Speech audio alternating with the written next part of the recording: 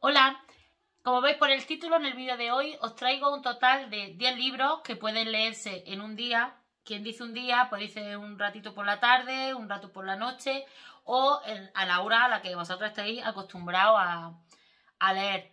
Conforme os vaya mostrando el libro, yo os diré más o menos lo que yo tardé en leerlo. Y nada, espero que os llame la atención, que os guste y sin más, comenzamos.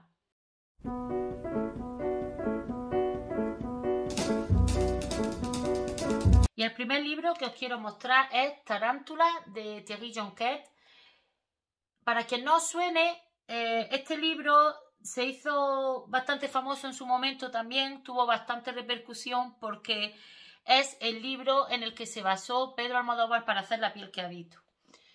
Aunque el director, como pasa en muchas ocasiones a la hora de hacer la adaptación, difiere un poco de lo que es el libro, la esencia y la trama mm, básica de la película, sí tiene bastante que ver con el libro. Aquí nos encontramos a un cirujano plástico que tiene a una preciosa mujer encerrada como en una jaula de oro, la tiene totalmente controlada y no la deja salir a la calle y tiene unas pautas muy marcadas con esta mujer y aparte tiene una hija que se encuentra en un, en un manicomio.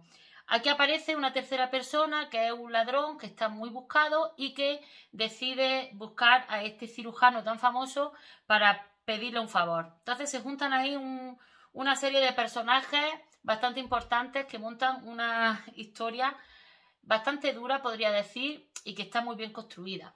El libro es muy corto, eh, tiene 138 páginas y por eso creo que es un libro que se puede leer rapidico.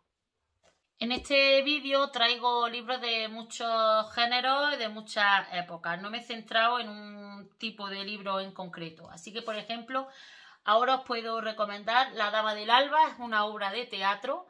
Yo no conocía a Alejandro Casona, no había escuchado hablar de esta novela, luego a raíz de habérmela leído, de haber subido la reseña, sí es verdad que tuve bastante interacción con gente que, que la conocía e incluso la había interpretado. Y es una novela que me gustó mucho, muchísimo. Aquí nos encontramos con una familia que hace unos años perdió a su hija en el río y entonces esa familia decide que no se puede salir, no se puede ir a bailes, no se puede hacer absolutamente nada. Viven recluidos en, la casa hasta que reciben la visita de la peregrina. Esta peregrina de tez fría y misteriosa le va a dar un cambio total a la vida de, de esta familia.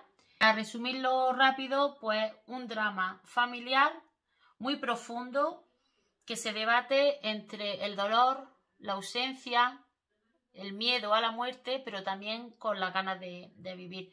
Lo recomiendo mucho porque, ya os digo, se lee muy rápido, una obra de teatro muy rápida y, bueno, fijaros que es que en este libro tengo hasta las actividades, ya sabéis, típico libro. Tiene 107 páginas. En ninguno de mis vídeos de recomendaciones puede faltar ningún libro de Stephen King y esta vez os traigo este libro de, con dos relatos que en una edición especial súper bonita, si os veis ahí el pez brilla, dorado. Aquí eh, Stephen King hace un homenaje a Nathaniel Hawthorne, que si no me equivoco es el autor de La letra escarlata, corregidme si me, si me he equivocado, incluyendo aquí un relato del propio Nathaniel que para distinguirlo aquí está escrito en, color como granate oscuro. Y luego tenemos el relato escrito de Stephen King, por cierto, se me olvida decir que esta, que esta adaptación de, de este relato está ilustrada por Ana Juan, que es el relato del hombre del traje negro.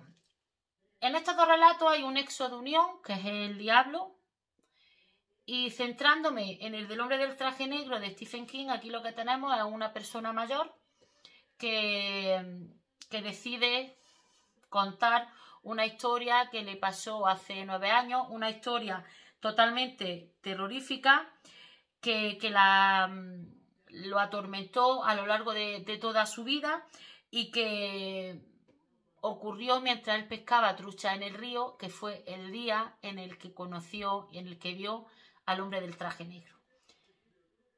son dos relatos, por muy grandes que sean, se leen muy, muy rápido. Mm, el libro tiene ciento, os lo voy a decir exacto, 118 páginas y esto os lo leí en un ratillo y seguro que os va a gustar si sois fan de, Stephen King y de este tipo de, relatos.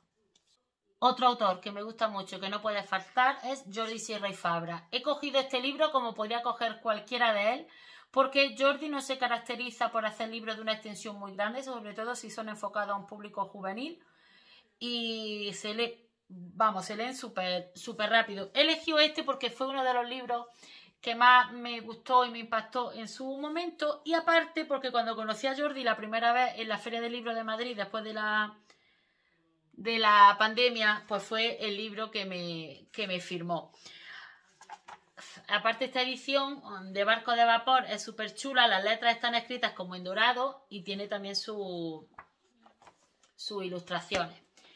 Historia de un segundo nos narra eh, una historia de amor que, vive, que se vive entre dos niños, una niña y un niño, muy jovencitos, no recuerdo si tenían 12 o 13 años. Ella pertenece a una familia rica y él es como el lazarillo de un médico que se porta súper mal con él. Es verdad que esta parte social y esta diferencia de clases sociales me llamó mucho la atención y me gustó mucho de la historia, no solo la historia de amor que puede haber entre, entre esta pareja, pero sí de verdad las monstruosidades que hacía alguien que tenía un poquito de, de poder, en el caso de Lazarillo, y por supuesto pues los, prejuicios que hay de las clases de una a otra en cuanto a, dinero se refiere. Una cosita que me gustó también mucho de este libro es que, eh, por contaros un poquito, cuando estos niños, esta niña una niña de, ya os digo, una niña adinerada de misa de domingo, y el pobretico mío, pues ni de misa ni nada porque tiene que estar trabajando. Pero cuando se escapa y va a misa a verla, para dejarle nota, coge su libro o el santoral o lo que en ese momento, el cantoral más bien, y le señala, le señala frasecillas, o sea, palabras del, libro para que formen una frase y así poder comunicarse con ella. Son cosillas muy bonitas y muy tiernas, en una época en la que como no tuvieras dinero no eras nada, tenías que trabajar, como el caso de este chiquillo, ser totalmente maltratado y luchar por un amor que por las circunstancias sociales no les permite estar juntos. Os lo enfoco así por encima, pero de verdad que, me gustaría que lo leyera y le dierais una oportunidad. El libro tiene 200, 260 páginas, pero ya os digo, lo que es en esta edición es que, vamos, vienen a ser como 10 frases por página. Luego está la edición de Barco de Vapor de Toda la Vida Naranja también, que, que es muy chico. Que yo os recomiendo este, pero que de Jordi Sierra, lo que queráis y de un amor bonito nos vamos a una tragedia. Estamos hablando del túnel de Ernesto Sábato. Es lo primero y único que he leído de Ernesto Sábato, aunque tengo sobre héroes y tumbas muy pendientísimo porque me lo tengo que, que leer y mm, la verdad que me gustó mucho. Aquí nos encontramos con un tema muy duro y muy peliagudo y es que tenemos a Juan Pablo Castel en la cárcel por haber matado a María Iribarne. Creo que era Iribarne, sí lo que me gustó de este libro es que no pretende eh, justificar al hombre por haber matado a, a la persona a la que más amaba. Él está en la cárcel encerrado y su miedo y su, su interior ya como una piedra, su interior oscuro, le hace reflexionar acerca de lo que pasó. Yo lo interpreté como que no se pretende justificar este feminicidio, porque si no, no me hubiera gustado el libro. Y la verdad que me gustó mucho. Me gustó mucho y lo leí muy rápido. Es una. En esta edición de Austral la letra es grandecilla y, no está, y tiene 155 páginas. Es un libro, como ya digo, donde no sientes empatía por el asesino. Ya sabes que muchas veces, pues, la forma en la que está escrito un libro o la forma de contar una historia hace que sientas empatía por, por seres Mm, impresentables, como ya me ha pasado a mí alguna vez, como he contado con, algunos personajes de, Carlos Bardem. Pero aquí en concreto es simplemente em, el recuerdo de un hombre que está encerrado en sí mismo y encerrado en la cárcel por un acto que no debió cometer, pero cometió. Y cambio de género totalmente y nos vamos a la novela gráfica. Ha sido de las primeras novelas gráficas que yo he leído ya de adulta, porque ya he comentado muchas veces que yo era, era y soy una gran fan de los, de los libros de Asterix, pero de ahí no me sacaba. Hasta que mi amigo David de la biblioteca de Le Petit Poulon decidió que yo tenía que leer esto y me mandó el libro, me lo regaló y me lo mandó a mi casa. Este libro me lo leí literalmente en 46 minutos. 47, miento, un minuto más. Es una novela gráfica que, por favor, esto se lee, eh, se lee en un ratillo. Si es verdad que son cuatro volúmenes ahora mismo, cuando yo empecé a leérmelo el cuarto no había salido. Ya me lo he leído los cuatro y creo que está por venir el cinco. Aquí tenemos a Nick y Charlie, que son dos adolescentes de 14 años, 15 años, que están en el instituto. Charlie es un, chico gay que ya ha salido del armario y Nick se debate sobre su sexualidad. Aquí pasan cosas muy bonitas, se abarcan, abordan muchos temas, no solo el tema de la homosexualidad y las parejas entre hombres y mujeres, se abarcan mucho más historias que, yo recomiendo que las leáis. Yo lo consideraría incluso como una lectura obligatoria para los jóvenes de hoy en, el cole y en el instituto. Y ya os digo, para leerlo en un ratito de nada es ideal.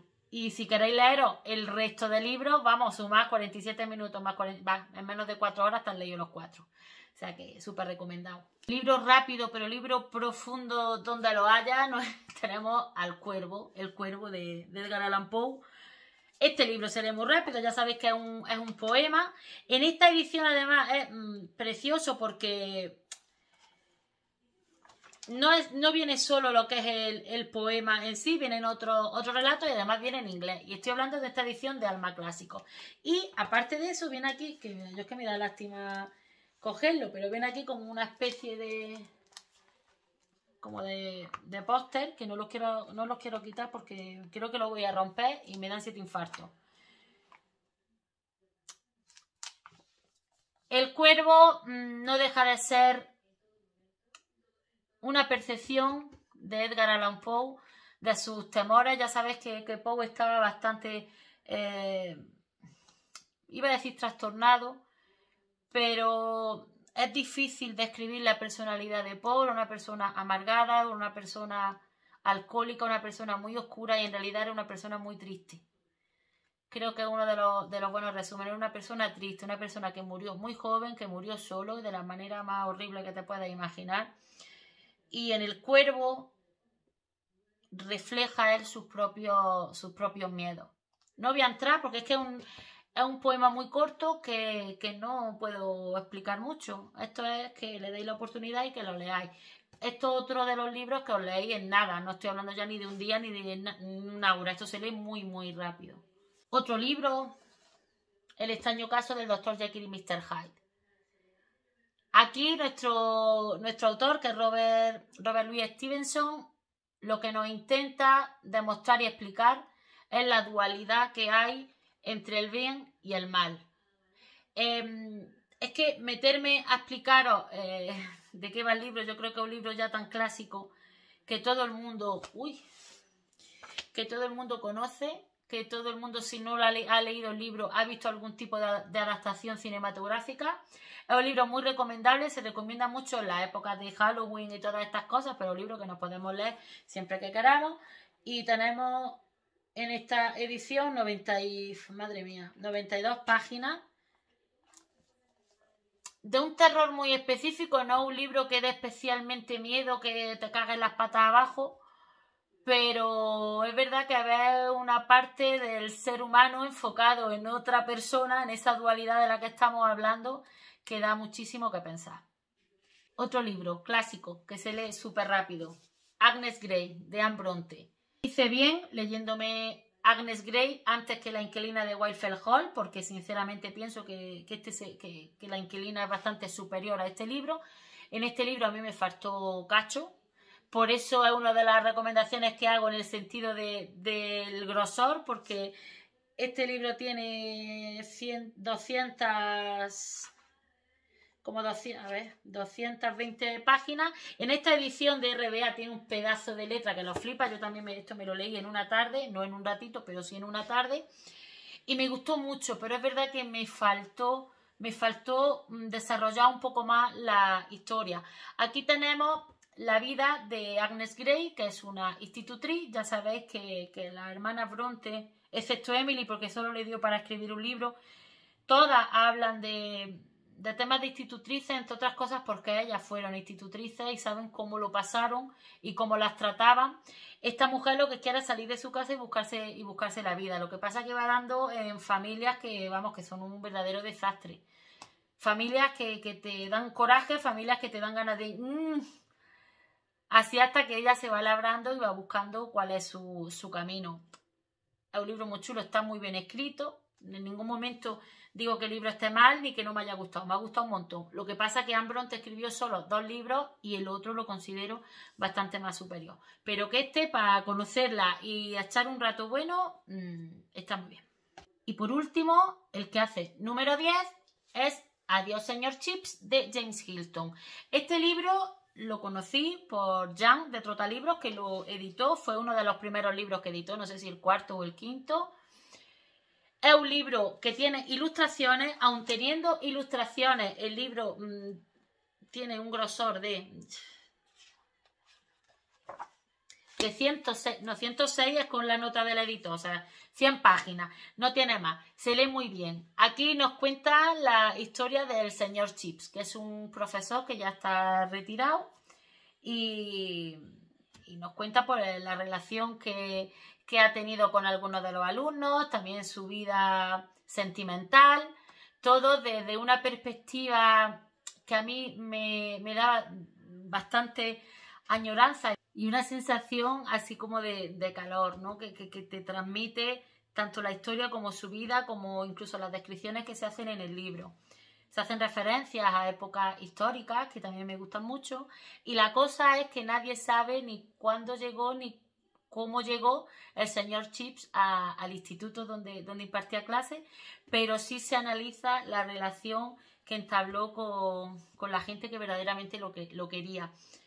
Se lee muy rápido. A mí este libro me hizo llorar porque, bueno, me, llevó a mi época de, instituto y a la relación con los profesores y con algunos compañeros y todas estas cosas y, y me pareció un libro muy emotivo.